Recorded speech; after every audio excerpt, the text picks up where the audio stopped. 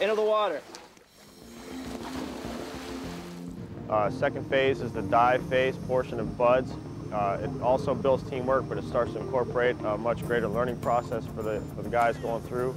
The majority of the evolutions that cause the students the most problem is the water work. Uh, if a guy isn't comfortable in the water, then he's not really cut out to be a frogman. Uh, he's got to keep his head about him when he's in the water if something goes wrong with his dive rig or something like that. So a lot of the pool work is, uh, is very stressful. Uh, you've got to be mentally in the game to make it through those evolutions. The men are subjected to continual calculated harassment by their instructors to see if they follow procedures taught in the classroom. Students are tumbled around and their mouthpieces torn from their mouths, simulating the effects of a strong ocean surge.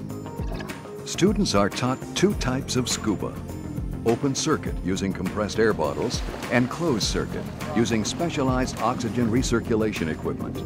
San Diego Bay turns into a combat training area for practicing underwater navigation. The men are learning to use a specialized breathing apparatus, the Draeger LAR 5. It's a closed-circuit underwater breathing apparatus designed for use in clandestine military operations in shallow water, where concealment of telltale exhaust bubbles is essential. In a modern 50-foot dive tower on the BUDS compound, the men perform free swimming ascents without the use of breathing apparatus.